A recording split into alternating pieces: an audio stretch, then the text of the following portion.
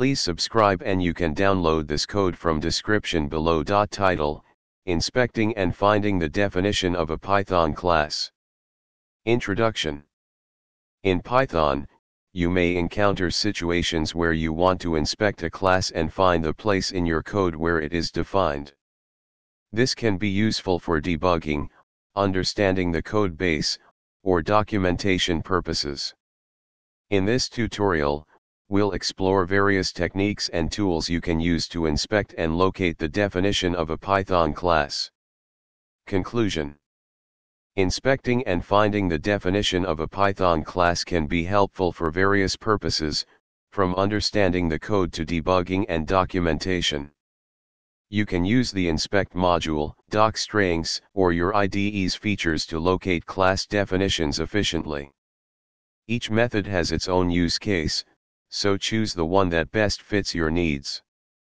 ChatGPT When working with Python code, you might come across situations where you need to inspect a class and find the place in your code where it is defined. This can be useful for debugging, understanding the code base, or just learning more about how a specific class works. In this tutorial, we'll explore several methods to achieve this. We'll use a simple example class for demonstration purposes. The inspect module in Python provides a way to access metadata about objects in your code, including classes. Here's how you can use it. The inspect.getSource function returns the source code of the class as a string. This can help you inspect the class definition. You can use the underscore underscore file underscore underscore attribute of a module to find the path of the file where the class is defined. Here's how.